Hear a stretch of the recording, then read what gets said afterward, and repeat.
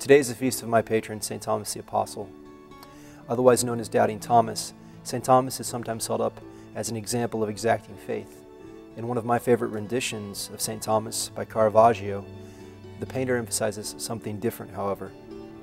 Caravaggio in this painting has diminished the face of Christ, the very light of the world cast in a shadow.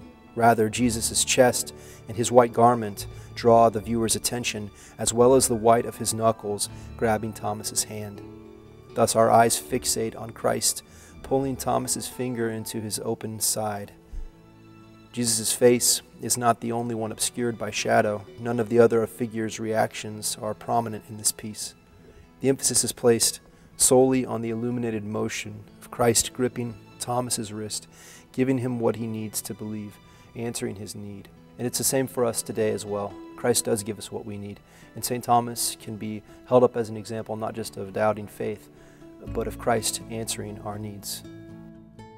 Check out these other videos from St. Benedict's Abbey and be sure to subscribe to our channel for weekly updates.